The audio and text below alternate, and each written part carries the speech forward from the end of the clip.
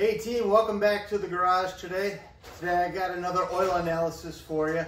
Uh, this time it's going to be on my wife's 2023 Honda Pilot. Um, and the oil that we're analyzing is the factory fill Honda oil. Yeah, that's correct. What came in this car from the factory is what I sent out to be analyzed. Now, um, before I sent this oil out, we ran the oil life monitor down to 5% which equated to 9,665 miles. So we had almost 10,000 miles on this factory fill. Um, and that's pretty much my standard MO. I'll run the factory fill to the manufacturer's specification for oil changes. So if they recommend an early change and dump, we'll, we'll change it early. If not, uh, like this car took us all the way up to almost 10,000 miles at 5% on the oil life monitor uh, before I changed it, which is pretty standard on what I do for all my Hondas is run it to 5%. So let's dig into this analysis and see what we have. Okay, let's dig into the comments from Blackstone. This is the first oil change for your pilot's engine, and that explains why metals and silicon are high.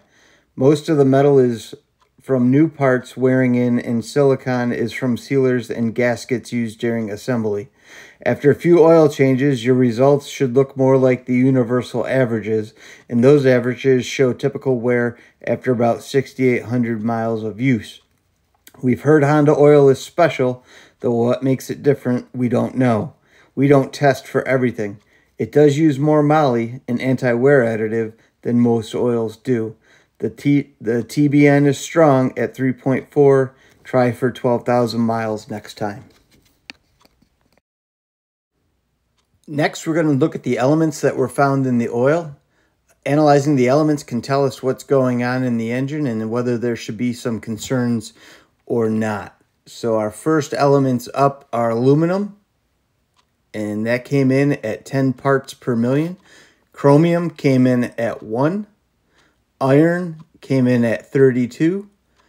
Copper came in at 61.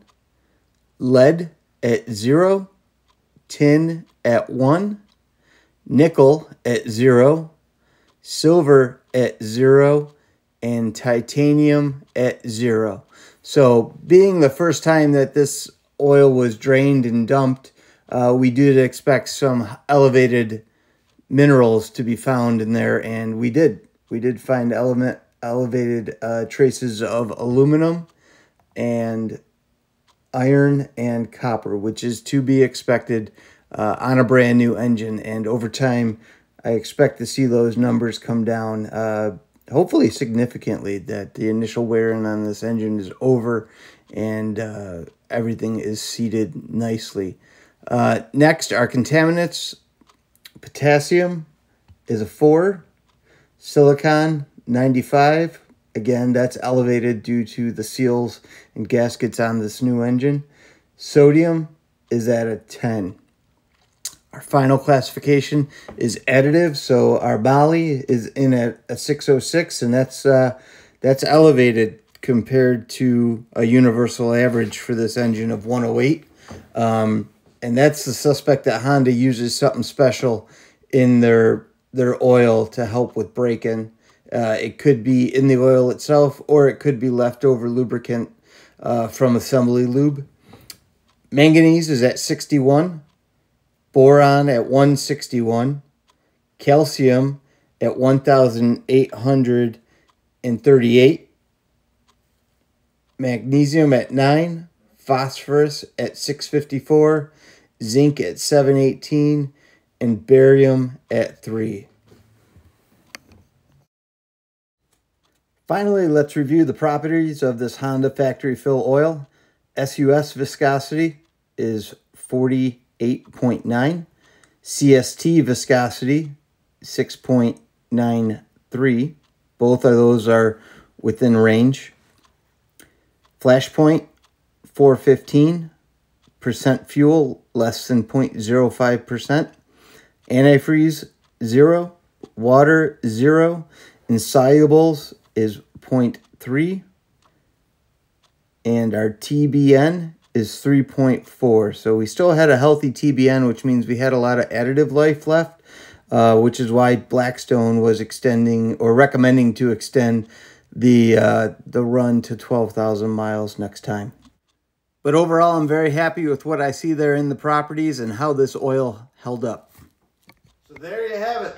The analysis came back and we were good to go. In fact, we could have gone another 2,000 miles, I'd say even 3,000 miles before we really had to worry about the oil life. But, uh, you know, 10,000 miles, it's, it's probably where I'd want to drain it on a factory fill anyway. Um, now, Honda, as you may or may not know, only recommends changing the oil filter every other time. So, in fact, when I did this oil change, the oil life monitor said not to change the oil filter, but I did anyway. I wanted to get everything out of there um, and, and, start fresh. So right now I got some Quaker State full synthetic in there. We're gonna run that down to 5%. And uh, what we'll do is I have a virgin oil analysis done of that oil. And when it's time to change it, I will send out an analysis of the used oil. So that should mean we should have about 20,000 miles on this pilot. And I'll go over both those analyses with you at our next visit. See you soon. Thanks for stopping in.